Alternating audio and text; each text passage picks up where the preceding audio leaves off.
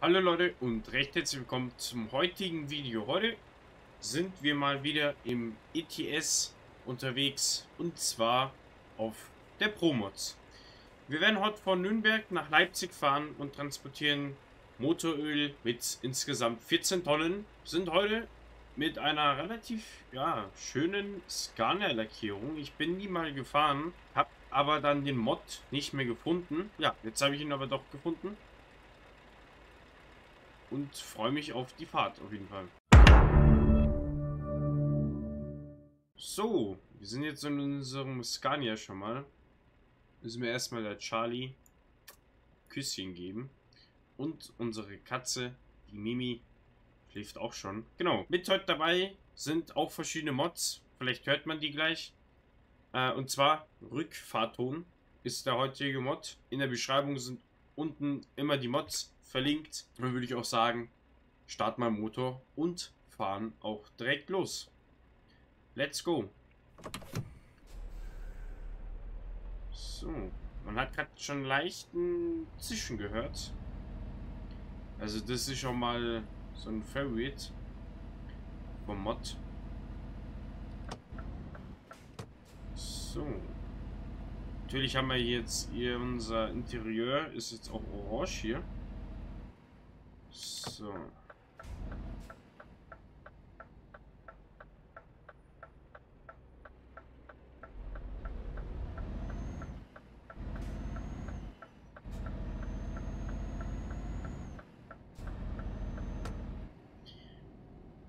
Oh je, hier sind schon direkt die Ampeln ausgefallen.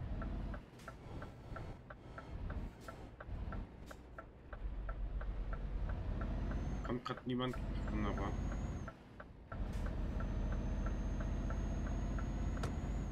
So. Ja, Leute. Ähm, es hat sich ein bisschen was auf dem Kanal verändert, würde ich mal so behaupten.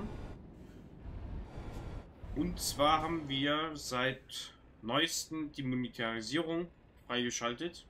Komm. Also ich bin jetzt offiziell bei YouTube als Partner. Wir haben die 1000 Abonnenten geknackt. So, was ist jetzt? Ah, jetzt. jetzt tut sich ein bisschen schwer mit dem Vorwärtsfahren. Ich habe jetzt auch hier 14 Gänge. Ah, jetzt hat. Irgendwas. Irgendwas stimmt jetzt wieder nie. Wir sind jetzt los, warte mal.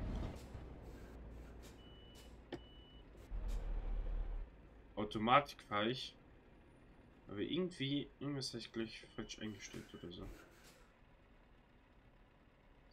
Ne, jetzt. Ne, jetzt geht's. Ja, und seit neuestem haben wir auch die Kanalmitgliedschaft freigeschaltet. Also falls du da draußen mich gern unterstützen würdest, kannst du gerne mit einem Beitrag von 99 Cent, also es gibt drei Stufen, einmal 99 Cent, 1,99 und einmal 4,99 kannst du mich gerne supporten. Wir sind im Rückwärtsgang halt los.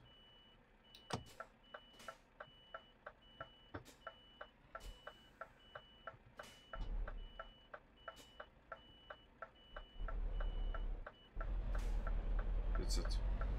Irgendwie spinnt der heute ein bisschen. Glaube ich, irgendwas falsch eingestellt. Das kann möglich sein. Kannst du natürlich gerne ein kostenloses Abo natürlich auch gerne da lassen, falls du noch nicht abonniert hast. Würde mich natürlich freuen und falls euch das Video bis hierher schon gefallen hat, obwohl ich hier irgendwelche Startschwierigkeiten habe, können Sie natürlich gerne auch einen Daumen nach oben da lassen. Würde mich auf jeden Fall freuen. Ja, wie gesagt, Kanalmitgliedschaft, die ist jetzt relativ frisch.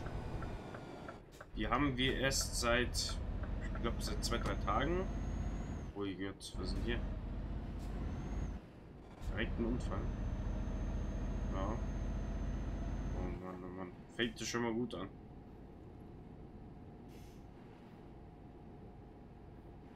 So.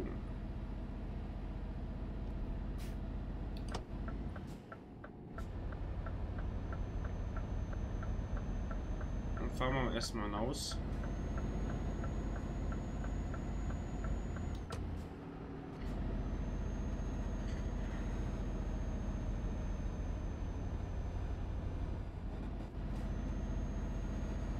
So, irgendwas spinnt heute.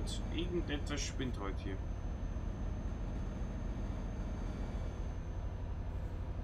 Ich drück halt, ich gebe nur Gas, Leute.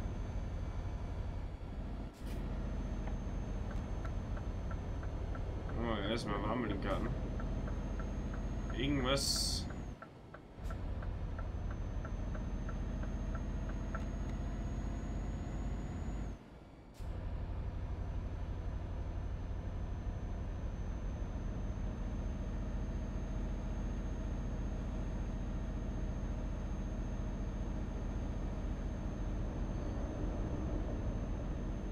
Das kann ja nicht normal sein.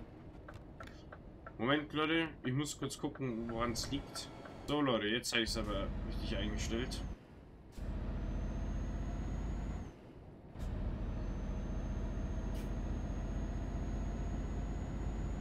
Ja, aber so ist es ganz normal bei mir. Ab und zu habe ich irgendwelche Anfangsschwierigkeiten. Aber Mai, so ist es halt.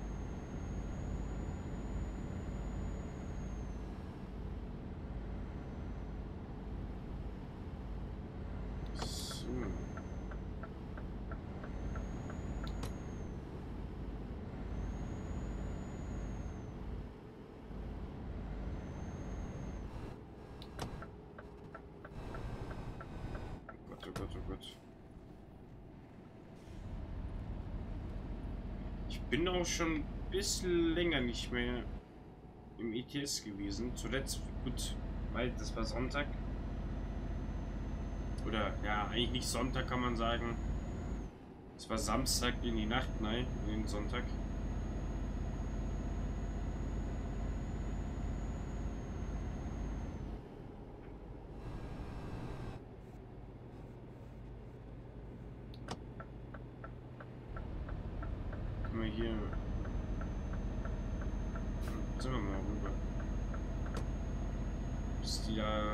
Gaspedal gefunden haben, ist auch schon Weihnachten. Naja. Ähm, über was können wir denn so heute reden im Video? Hm, ah, jetzt mal jemand wieder eine Panne, super. Ja, im letzten Video haben wir ja drüber gesprochen und zwar ging es das mit dem LKW, der ja zu hoch war. Das letzte Video verlinke ich euch mal oben. Der halt durch einen Tunnel, der nur für also Deutschland ist es in Deutschland ist es ja normalerweise so, 4 Meter ist die Mindesthöhe, oder nicht Mindesthöhe, sondern gesetzlich 4 Meter.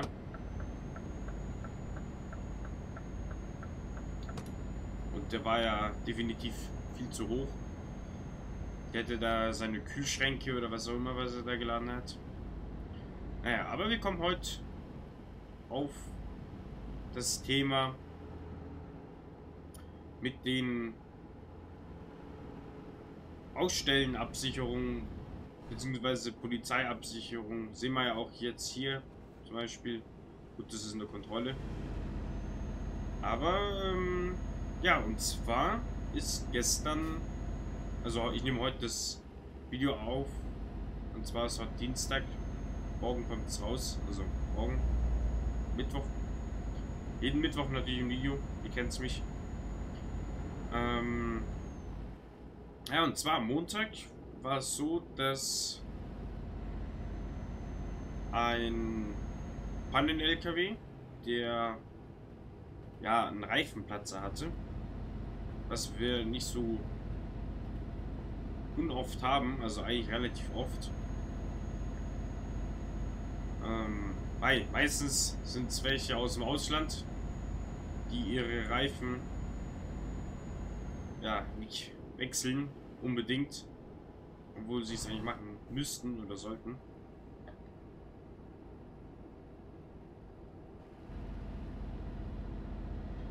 Ja, und zwar hatte der einen Reifenplatzer, stand auf der Standspur, aber stand auch auf dem rechten Fahrstreifen. Also relativ blöd. Und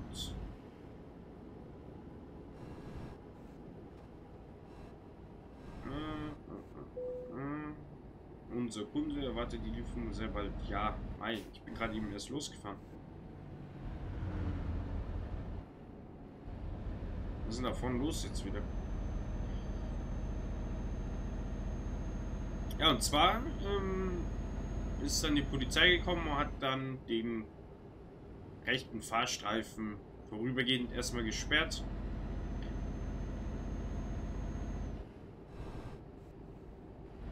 Und auch dementsprechend natürlich auch abgekegelt.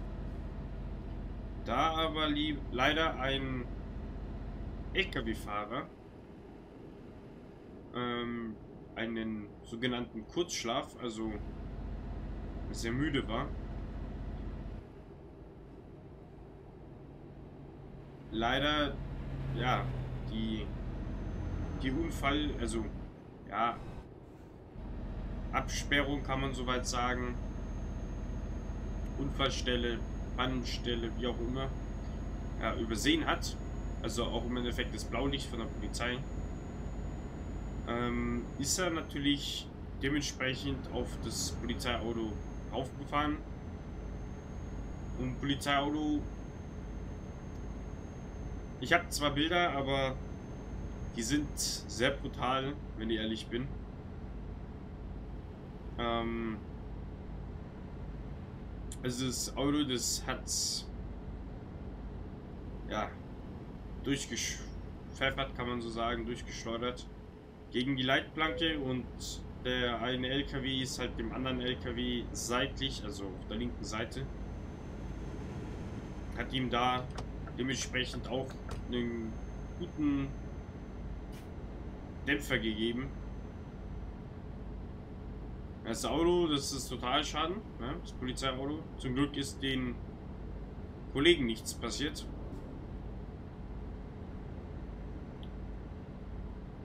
Ja, also. Und das Ganze ist halt so, dass halt, ja gut, Polizeiauto. Hat ein Blaulicht. Vielleicht erkennt man das sogar ein bisschen schneller als wie bei mir auf Arbeit mit einem orangenen Licht. Aber wir sichern auch ganz oft ab. Und sind jetzt auch derzeit am Kanäle reinigen, also Gulli-Reinigung. Und ich habe natürlich auch die ein oder andere Punchstelle oder beziehungsweise Unfallstelle auch schon dementsprechend abgesichert mit meinen Kollegen. Ähm, und wenn man halt eben sowas hört oder auch die Bilder sieht, dann ist es auf jeden Fall schon ein krasses Gefühl so.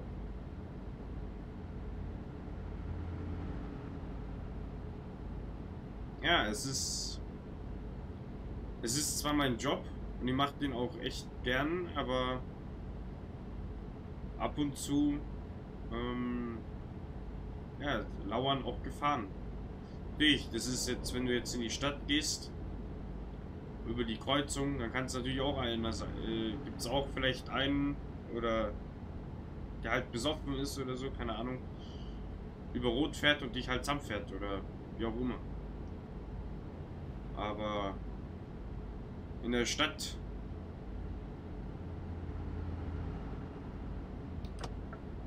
fahren die meisten 50,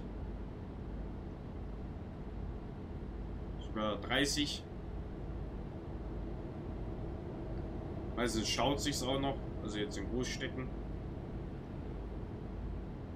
Ähm, und auf der Autobahn wird halt eine andere Geschwindigkeit gefahren. Da wird es dann ja, bis zu 200 gefahren. Also meistens von den LKW-Fahrern ja, nur 90. Jetzt müssen wir aber kurz gucken, dass wir rüberkommen zum darüber. eigentlich macht man das nicht, weil... Aber, ah, nee, der Kollege zieht auch rüber.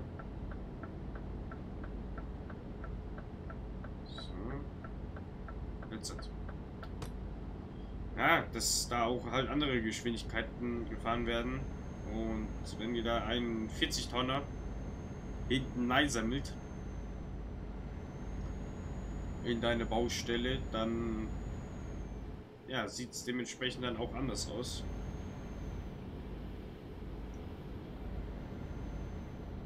Hm.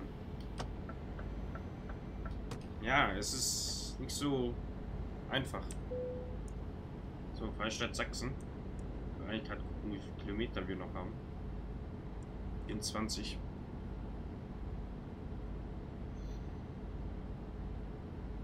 Also es ist ein sehr schwieriges Thema. Ich habe das auch schon öfters in den Streams so ein bisschen angesprochen.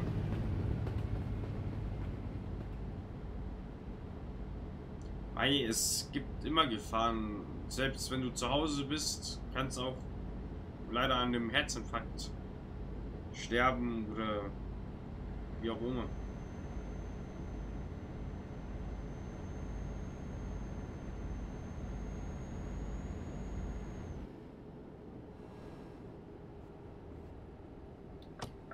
Deswegen schwieriges Thema. Das ist, glaube ich, eher so ein Thema so für einen Stream. Und da können wir uns dann definitiv ein bisschen besser so unterhalten. Statt jetzt hier in dem Video.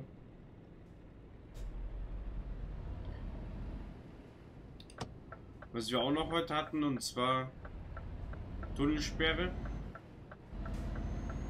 Also bedeutet, Tunnel ist dicht, keiner kann mehr durch.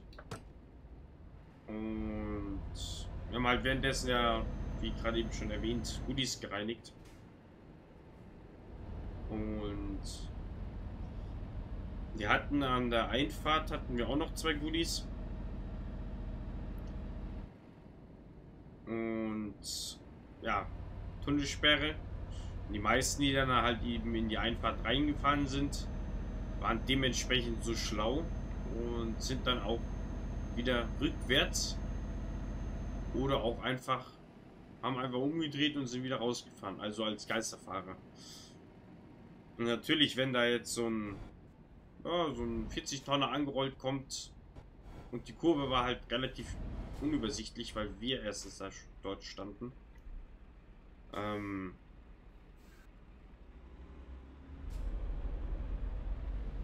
Ja. Also zum Glück ist da nichts passiert. Ich habe, wir haben zwar des, den Autofahrern auch mitgeteilt, dass sie sich da sehr, sehr strafbar machen damit. Denen war es aber das so wurscht. Bis auf einem, dem, ja, der ist mit dem Hänger, das war irgend so ein Handwerker, der ist mit dem Hänger nach hinten, also rückwärts gefahren und wieder raus. Hat es aber nicht geschafft, weil wir halt eben erstens da standen und die Kurve, wie gesagt, unübersichtlich war. Also er hat nicht gesehen, ob da jetzt jemand von hinten angerollt kommt oder nicht. Und natürlich kam da jemand auch angerollt. Und ähm, ich stand im Endeffekt hinter dem Hänger und habe das auch so fast erst im letzten Moment ein bisschen gesehen, weil, mei, wer rechnet auf der Autobahn bei der Einfahrt zur Autobahn, dass jemand rückwärts fährt? Ähm, irgendeinem PKW. Dementsprechend habe ich dann den auch dann ein bisschen zu Sau gemacht, habe den ein bisschen angeschrien ähm, und auch gesagt, dass das sowas nicht geht. Und er war auch relativ einsichtlich. Wir haben ihm gesagt, fahren Sie bitte jetzt vor, warten Sie die 5 Minuten bis 10 Minuten, danach geht der Tunnel auf. Ja, in 5 Minuten ging auch dann der Tunnel auf, dementsprechend, ja, Leute das war es dann schon mal mit dem Video, würde ich sagen. Finde auch die Lackierung ganz geil. Und natürlich auch den Rückwärtssound. Den habt ihr ja noch nicht richtig gehört. Den will ich euch einmal kurz vorzeigen. Also das ist halt schon etwas ganz Geiles. Und einmal das Scania-Logo ist auch ein bisschen anders. eine andere Schriftart. Wie gesagt, alle Mods unten in der Beschreibung einmal verlinkt. Und falls ihr noch kein Abo dagelassen habt, würde ich mich natürlich über ein kostenloses Abo freuen. Aktiviert die Glocke, um immer eine Benachrichtigung zu erhalten, sobald ich wieder live bin, beziehungsweise sobald ein neues Video auf dem Kanal erscheint. An die Supporter draußen, Dankeschön an die ganzen Kanalmitglieder, die die Tage, beziehungsweise jetzt seit gestern reingeflattert sind. Und falls du auch da draußen Kanalmitglied werden willst, kannst du natürlich gerne für 99 Cent oder dementsprechend die weiteren zwei anderen Stufen Kanalmitglied werden. Ich würde mich auf jeden Fall freuen. Und dann würde ich sagen, bis zum nächsten Video. Euer Dennis. Eh, baby girl, don't go. Oh, look the other way. And nobody will know. Oh, if it's all the same. And call my place your home. Oh, I don't wanna chase. Hey, but don't want you to go. Oh, all I want is you. Ooh, all you need is me. I know what to do. Ooh, only I can see.